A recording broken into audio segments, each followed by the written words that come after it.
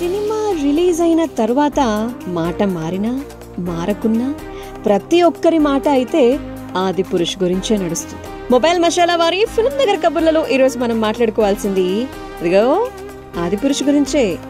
ఆది పురుషుగా ఉత్తమ పురుషోత్తముడిగా రాఘవుడిగా కనిపించిన ప్రభాస్ గారి గురించి ప్రత్యేకమైన మాట. సో డార్లింగ్ ప్రభాస్ మనందరికీ తెలుసు.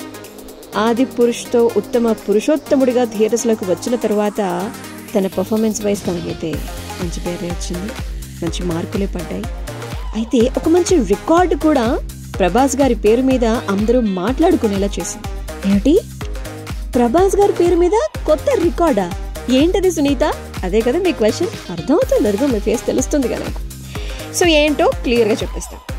ఆది పురుష్ మూవీ టాక్ ఏంటి అనేది పక్కన పెట్టేద్దాం. అండ్ ప్రపంచవ్యాప్తంగా దాదాపు నూట యాభై కోట్లు వసూలు చేసినటువంటి సినిమా గురించి మనందరికీ తెలిసిందే. బాహుబలి సాహోతో పాటు ఇప్పుడు ఆది పురుష్ రిలీజ్ అయిన ఫస్ట్ డే వంద కోట్లకు పైగా వసూళ్ళు సాధించింది. సో దీంతో మూడు సినిమాలతో ఈ మార్కుని అందుకున్నటువంటి ఓన్లీ హీరోగా ప్రభాస్ గారి గురించి మాట్లాడుకోవాలి. అదే రికార్డ్ అనమాట సో మ్యాటర్ అర్థమైపోయింది కదా? ఈ రికార్డ్ గురించి ప్రభాస్ ఫ్యాన్స్ అందరూ మాట్లాడుతూ ఉన్నారు.